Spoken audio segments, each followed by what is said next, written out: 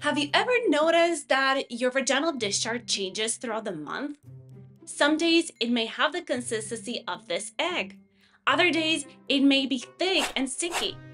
You may even have days where the color changes to pink or even brown. Are you curious why this happens? Well, in today's video, we are going to explore all the different types of vaginal discharge and what they mean about your health and fertility. Let's get into them. Hi, I'm Dora, functional medicine health coach, women's health and fertility expert, and I'm going to be your tour guide on the adventure we are about to embark on learning about vaginal discharge.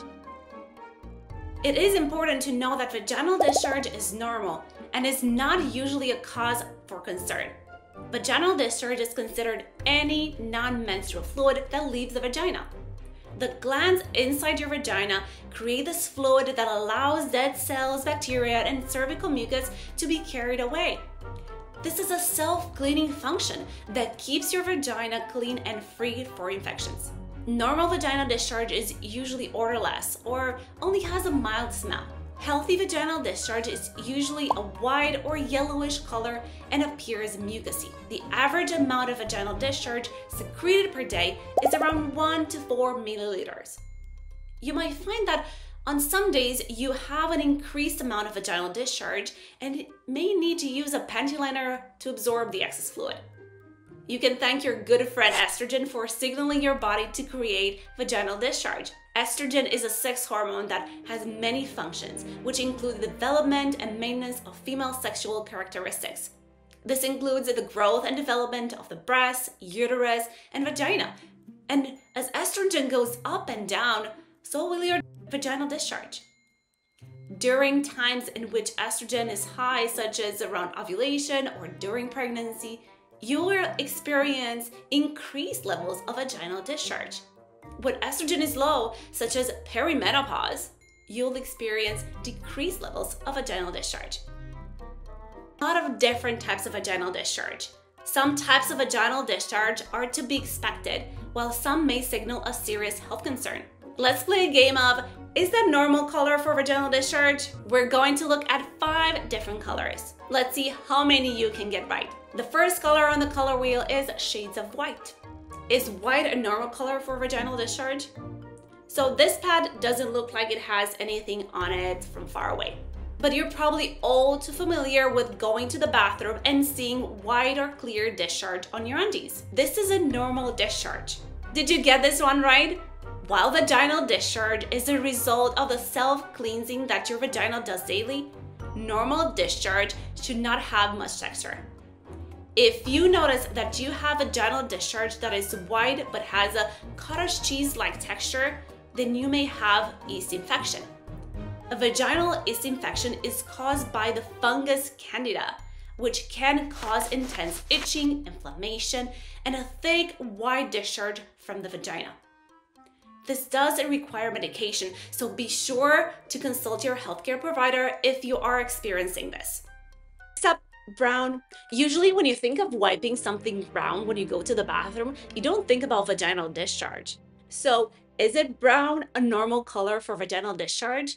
Well, sometimes your vaginal discharge may have a small amount of blood present inside of it, which then oxidizes when exposed to air and results in brownish hue. You may notice this around the time of your period, or you could see it during implantation bleeding, which is the spotting that some women experience when a fertilized egg attaches to their uterus. In these cases, brown discharge is normal. Sometimes brown discharge can occur during an ectopic pregnancy, during early pregnancy, or during a miscarriage. Typically though, brown discharge is not an issue if it is not accompanied by other symptoms. On to the next color, pink. Pink discharge can be a common occurrence for women.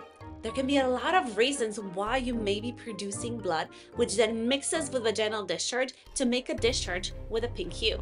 You may notice that around the time of your period, you have a day or two where you have a pink vaginal discharge. A few other causes of pink vaginal discharge are ovulation bleeding, implantation bleeding, birth control, perimenopause, fibroids, or an ovarian cyst. pink discharge is not usually a cause for concern if it is not accompanied by any other symptoms. This one is kind of a tricky question, so don't worry if you didn't get it. Next up is gray vaginal discharge. Do you think gray vaginal discharge is normal? Gray discharge is not considered normal. You do not want to see 50 shades of gray in your underwear. Gray vaginal discharge is a signal that your body is experiencing an infection. And the likely culprit is bacterial vaginosis. One of the telltale signs is that the gray vaginal discharge smells fishy. This warrants a trip to see the medical professional because you are probably going to need a round of antibiotics. The final color of the day is green. When you think of a green bodily fluids, your mind probably paints the picture of someone who is sick. And you would be correct. But in this case, your vagina is sick and is trying to fight off an infection.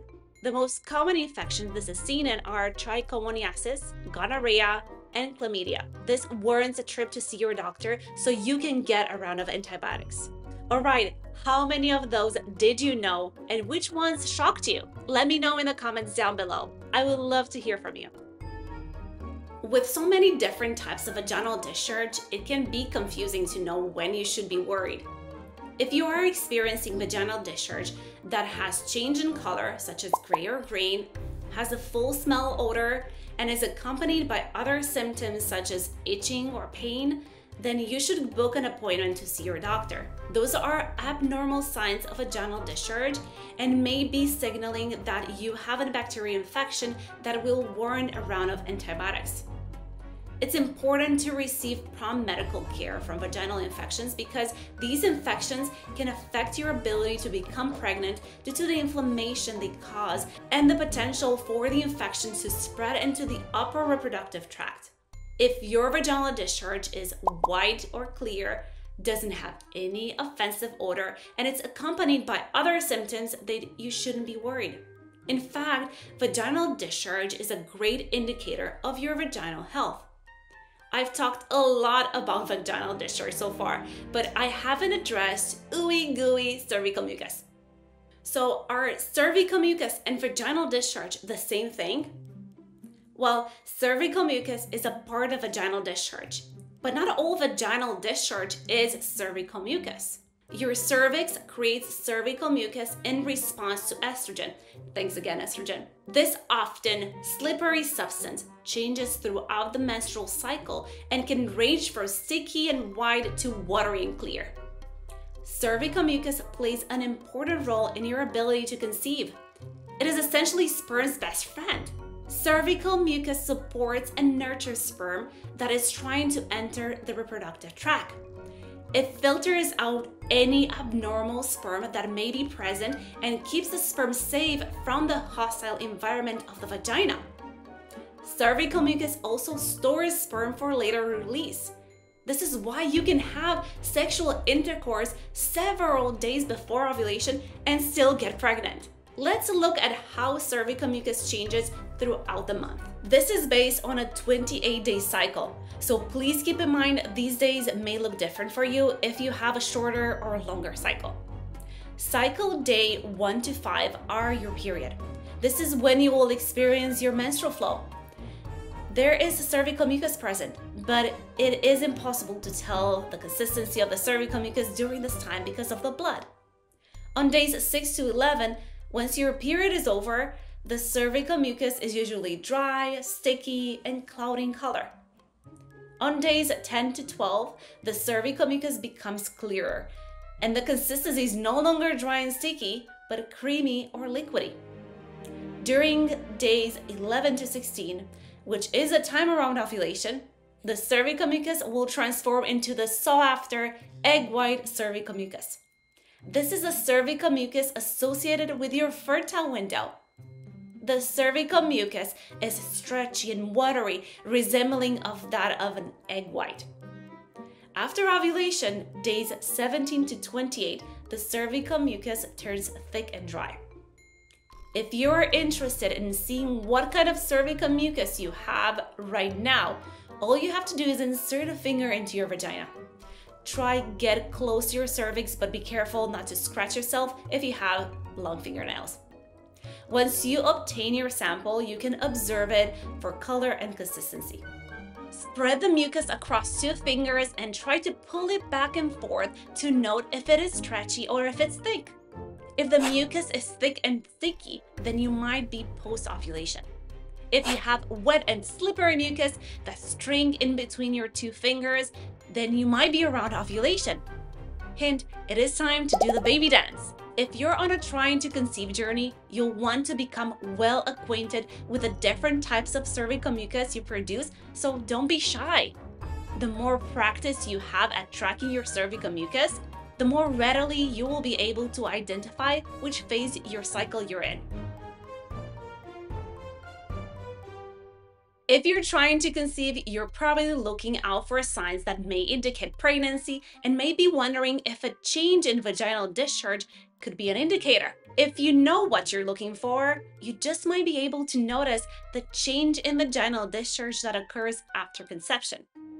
Almost immediately after conception, your estrogen levels will increase.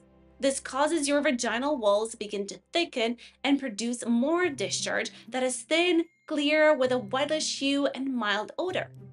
This happens before you even miss your period. Your body could be signaling you that you are pregnant even before you get a big fat positive. On the other hand, if you don't get pregnant, your cervical mucus gets thick and you'll have very little vaginal discharge.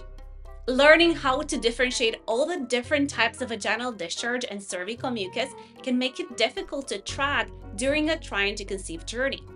However, tracking your hormones with an ovulation test provides more accurate information. That is why I want to introduce you to Inito Fertility Monitor.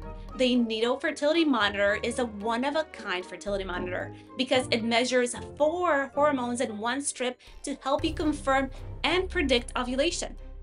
The four hormones that Inito measures are estrogen, luteinizing hormone, or LH, progesterone metabolite PDG, and follicular stimulating hormone FSH. The Inito fertility monitor gives you actual numerical values for each hormone and accuracy that is personalized to your unique body. The Inito fertility monitor also comes with a free, easy to use app to track your fertile days more easily and know exactly when you ovulate. You can view your personalized hormone chart on the app so you can plan your baby making activities. If you use coupon code FIRSTINITO15, you can get a 15% discount code on your Inito purchase. If you're trying to conceive, you do not want to miss this opportunity. Do you feel empowered now that you've learned more about vaginal discharge? I hope so.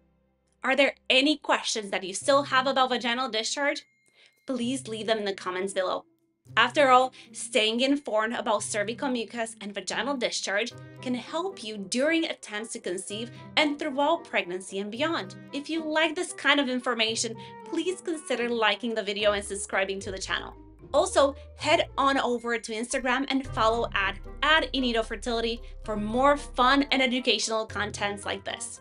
I'll see you in the next one.